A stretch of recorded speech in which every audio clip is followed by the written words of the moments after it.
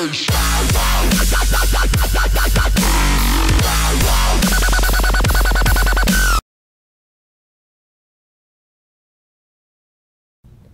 next step in solving the Rubik's Cube is completing your first layer of it. So you can see you have the cross already. The corners do not match. Alright?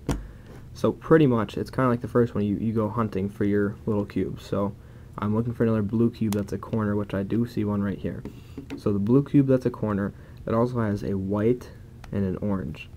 So I'll be able to move it along the bottom until I find a white and an orange. Here's the white side, here's the red side, so that's not right. Find the white side and the orange side. So yes, this cube I want down here. If I want to get it up here, I want to start down here. So find your cube, put it underneath the piece you want it to get to, and then you hold it there as if it were in the bottom right of your front interface. You hold it here, and this is where it comes time for your next algorithm you need to remember. Get out your pen and paper, pause the video, be ready to write this down. This next step, as I mentioned, requires another algorithm, which I have right here. I request that you write it down. Right inverted, down inverted, right, down. Right inverted, down inverted, right, down. I'll show you exactly how that goes. So like I said, the piece is right below where it needs to go. And I'll do that exactly as I'd mentioned to you. So right inverted, you take your right side, twist it counterclockwise. Right inverted, down, inverted, right, down. Okay, cube's not in the right, it's in the right spot, but it's not in the right orientation. So you just keep doing the same thing. Right inverted, down inverted, right, down. Right inverted, down inverted, right, down.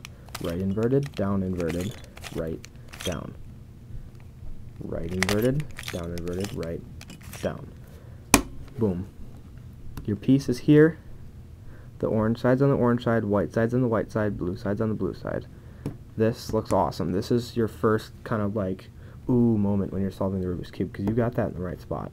This cube is in the right spot. Congratulations, you have these four pieces all correct. They will not move. They're all right where they are. So, write it down. Right inverted, down inverted, right down. I might put some cool pictures up so you guys can print them out or something like that. I don't know, but you have to write those down and memorize them. So I'm expecting you guys to kind of just go through your Rubik's Cube and solve them as you go with those and just keep remembering them. And once you finally memorize them, then you'll be able to solve it without them, like I can. Um, okay, next blue piece is blue, red, white. So white side's here, blue, orange. I don't want the orange. So I move it over blue, white, red, blue, white, red, right beneath where it needs to go, as I said again. So right inverted, down inverted, right, down, right inverted, down inverted, right, down, right inverted, down inverted, right, down, so on so forth. Okay, boom. This corner is intact, as it was before, nothing got messed up. Now this corner is intact, so look at this. Looks amazing. These four pieces, all correct. Not going anywhere. Alright, find my another blue piece right here. Blue, yellow, red move it over. Always keep the blue on the top, by the way. I don't think I mentioned that, but it's kind of what you're supposed to do. And then, yep.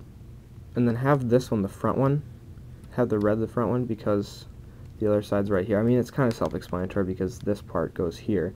So you need three, these three sides, these three colors. And the red just happens to be on the left, so that's where it goes. I mean, kind of self-explanatory, but yep, just right inverted, down inverted, right, down, right inverted, down inverted, right, down. It does look kind of cool. Looks like I'm doing it really fast, but I'm not. Okay, this part's intact. Look at, you're starting to have somewhat of a Rubik's Cube. It looks cool right away. This is where I kind of got excited, and I was like, yeah, I want to be able to solve a Rubik's Cube. Oh, okay, here we go. So this part is our last piece of the first layer. It's already in its right spot. Blue, yellow, orange, blue, yellow, orange. So, instead of having it beneath it or whatever, you can just leave it here, but make sure it's in the bottom right of the top. And you can do right inverted, down inverted, right, down. And then there it is. So you can see this whole top layer has been completely solved. That's exactly what you need to do to start solving your Rubik's Cube.